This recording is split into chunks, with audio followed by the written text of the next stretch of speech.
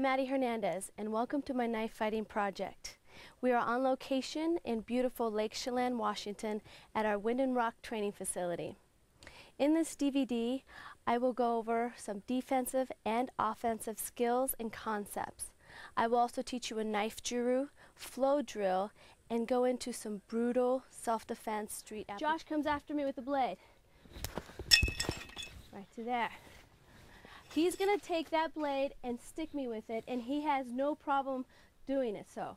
So what I'm gonna do is I'm protecting myself. He comes in, attacking, coming around, and I'm out of here. Let me give you another reason why I have you come back to your home position.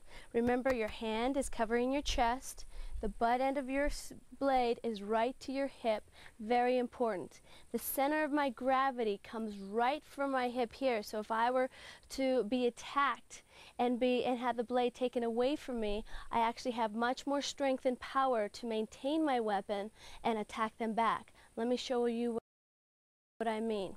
Let's take a look at a multiple opponent scenario. Joseph comes in and I'm here. I'm completely facing Joseph and I can't see if anybody's behind me. I come, he comes after me, I attack him, he blocks me, I'm protected. And then somebody could come up from behind and here I am.